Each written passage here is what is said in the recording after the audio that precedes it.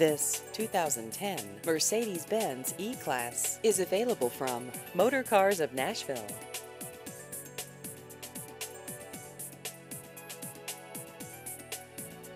This vehicle has just over 36,000 miles.